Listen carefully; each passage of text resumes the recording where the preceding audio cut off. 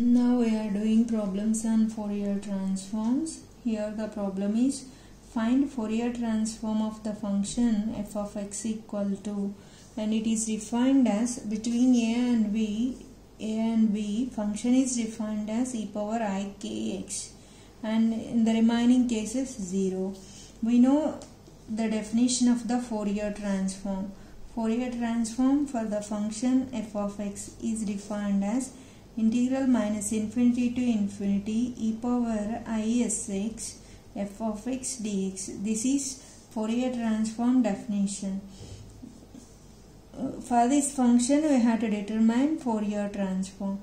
In between a and b the function f of x is defined as e power ikx but here we have to substitute between minus infinity to infinity f of x value but in the problem they mention f of x as exponential function between the limits a and b.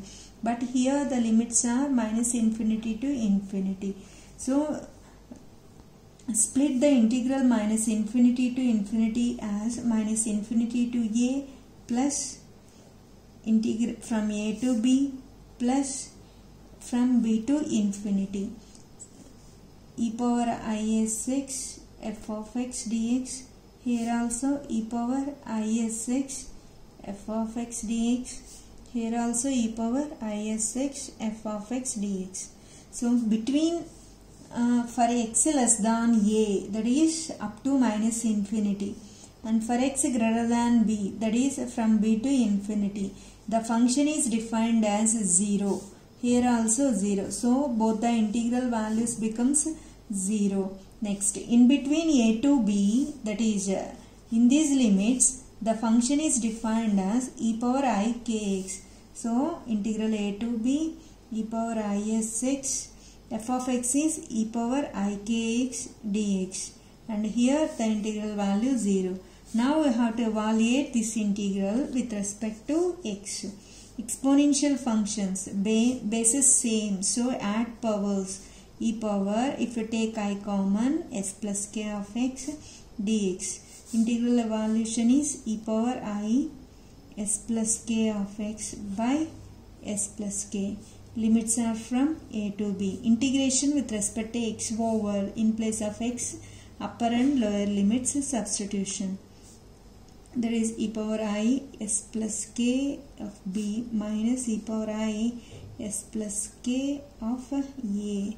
This is the required Fourier transform to the given function f of x. This is the way how to determine Fourier transforms to the given function. So from the Fourier transform definition we have the limits minus infinity to infinity. Mostly in the problems they won't give only one function.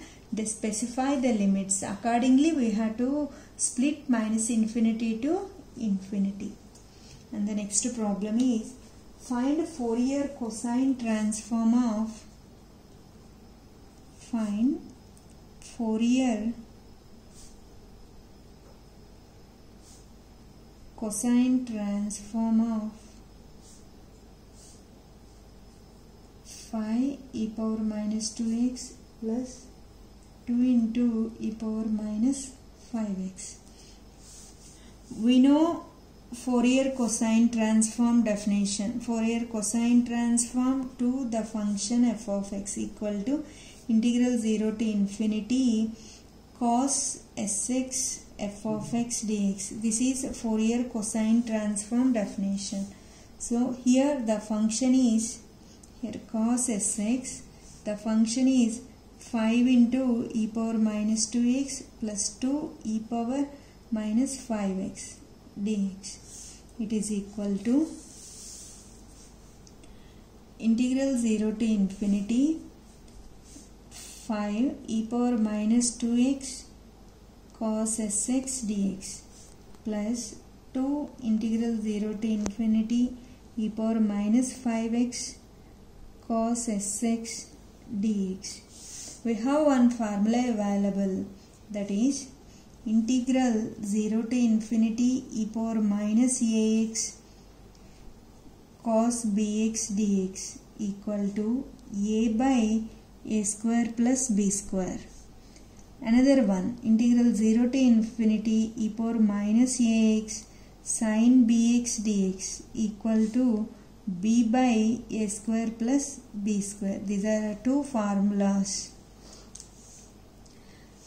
here we are going to apply first formula. E power minus 2x cos sx dx. In place of a we have 2 so 5 into 2 by a square plus b square. That is a 4 plus s square. Plus here same first formula. 5 by 25 plus s square. On simplifying you will get by taking 10 common 1 by s square plus 4 plus 1 by s square plus 25 this is the Fourier cosine transform to the given function. And one more problem is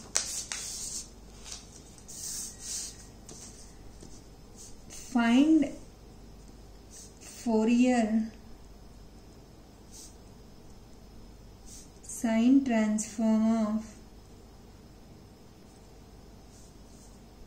x e power minus ax. We know Fourier sine transform definition. Fourier sine transform to the function f of x equal to integral 0 to infinity sine sx f of x dx. So once observe what happens if you try to apply this definition to find Fourier sine transform. So according to the function definition sin sx in place of f of x x e power minus ax dx. Now observe the evaluation of integral. We feel very difficulty because under the integral trigonometric exponential algebraic three types of functions present. It becomes difficulty to evaluate this integral if you have product of two functions okay we have chance to go for by parts generalized rule of by parts but we feel very difficulty to evaluate this integral. That's why not able to apply this definition to find Fourier sine transform that's why omit this one. Uh, is there any another technique to find Fourier sine transform to the function x e power minus ax from the properties we have one uh, formula available. That is we know Fourier sine transform of x f of x equal to minus d by ds of Fourier cosine transform of f of x from the properties. We proved two properties in the last after the modulation property uh, we studied these two. Once refer properties of Fourier transform you observe these two. For, that is Fourier cosine transform of x f of x equal to d by ds of Fourier sine transform to the function f of x we have these two properties available. The problem is like that of this property Fourier transform of x f of x equal to minus d by ds of Fourier cosine transform of the function. So our problem is find Fourier sine transform to x e power minus ax so here f of x is e power minus ax according to this property it is equal to minus d by ds of Fourier cosine transform of e power ax. It is equal to minus d by ds. Fourier cosine transform to e power ax means according to cosine transform definition integral 0 to infinity cos sx the function is e power ax dx. Already we have formula available integral 0 to infinity e power ax e power minus ax cos bx dx equal to a by a square plus b square. So according to this formula it is equal to a by a square plus s square. Now we have to differentiate this one. Take a outside as it is a free from s 1 by a square plus s square. It is equal to minus a on doing the derivative with respect to s s square plus a square whole square numerator derivative 0 minus of numerator into denominator derivative that is 2s. So it is equal to minus minus plus 2as by s square plus a square whole square. This is Fourier sine transform of the function x f of x. If you observe this is a Fourier transform to uh, sorry it is a Laplace transform to t sine at is a 2as by s square plus a square. Like that you got. And one more problem is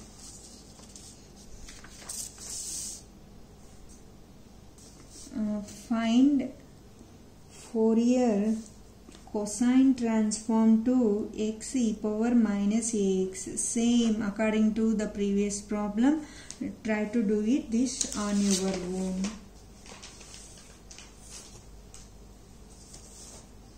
One more problem is show that the Fourier sine transform of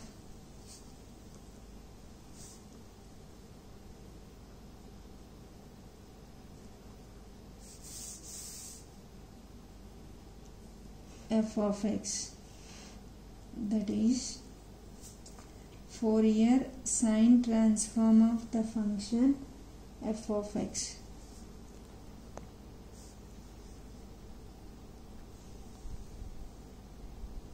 As 2 sin s by s square into 1 minus cos s given f of x equal to defined as x for 0 less than x less than 1 2 minus x for 1 less than x less than 2 0 for x greater than 2 for this function we have to determine Fourier sine transform. So solution Fourier sine transform to the function f of x is given by integral 0 to infinity sine sx f of x dx. This is a Fourier sine transform. Between the limits 0 to infinity, we have to substitute the function value. But the function definition is given in between 0 to 1, it is defined as x and in between 1 to 2 defined as 2 minus x. In the remaining case 0. So split the interval 0 to infinity as 0 to 1 plus 1 to 2 plus 2 to infinity. So according to our definition sin is x in between 0 to 1 the function is defined as x. And in between 1 to 2 the function is defined as 2 minus x into sin sx dx and from 2 onwards x greater than 2 that is between 2 to infinity the function is defined as 0 sin sx dx. So it is equal to integral 0 to 1 x into sin sx dx plus integral 1 to 2 2 minus x sin sx dx. And this integral value 0 now if we evaluate these two integrals our problem will be completed. To evaluate this integral under the integral algebraic and the trigonometric function, we know we have to apply generalized rule of by parts to evaluate this type of integral. So here u equal to x, v equal to sin sx, u dash equal to 1, u double dash 0. Here v1 integral of sine that is minus cos sx by here integration with respect to x. So integration with respect to x divided by s v2 equal to cos integration is sine. So minus sine sx by s square. Next to evaluate this integral we take u 2 minus x and v sin sx. So u equal to 2 minus x. u dash becomes minus 1 u double dash equal to 0 here v1 integral of sine that is minus cos sx by s v2 equal to minus sine sx by s square. Now evaluate these two integrals by keeping our generalized rule of by parts formula. That is integral uv dx equal to u v1 minus u dash v2 plus u double dash v3 minus and so on. This is generalized rule of integration by part. Keep this formula in mind and uh, use these symbols. Integral uv dx equal to u v1 x v1 minus cos sx by s u v1 minus u dash v2 sin sx by s square limits 0 to 1 and here plus again evaluate this integral by keeping these symbols. U v1 u 2 minus x v1 is minus cos sx by s. U v1 minus u dash in the formula I have minus sign minus u dash. That is one more sign. Here also one more minus sign becomes plus u dash v2 sine sx by s square. Limits are from 1 to 2 by substituting upper limit 1 integration with respect to x over in place of x 1 so minus cos s by s plus sine s by s square by substituting lower limit 0 into this one 0 sine 0 0 so lower limit value 0 next here plus and here upper limit substitution in place of x 2 that is 2 minus 2 this term 0 and here sine minus sine 2s by s square. Upper limit substitution over minus of lower limit substitution in place of x 1 2 minus 1 that is 1 here minus 1 cos s by s. Next in place of x 1 that is minus sin s by s square.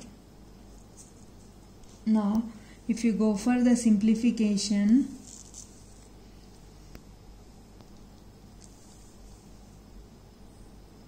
minus cos s by s here minus into minus that is plus cos s by s. This term and this will be cancelled. And here plus sin s by s square. And here minus into minus plus that is uh, 2 sin s by s square. So you will observe 2 sin s by s square. Sin s by s square. Here one more sin s by s square. Minus minus plus. So 2 sin s by s square. And here minus sin 2s by s square. Now it is equal to 2 sin s by s square sin 2a like that formula 2 sin s by 2 sin s cos s by s square. Here if you take 2 sin s by s square common you will get 1 minus cos s.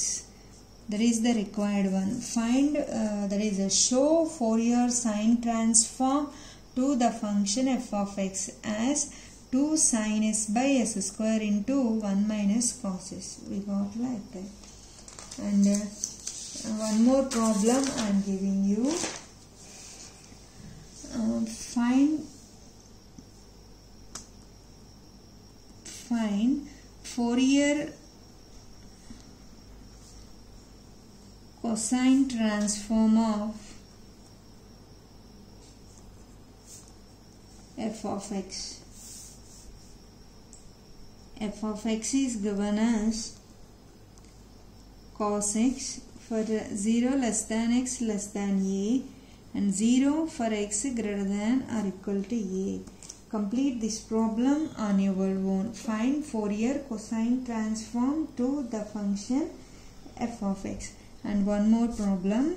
Find Fourier cosine transform to e power minus ax cos ax. And these two problems left to you. This completes the problems on Fourier transform.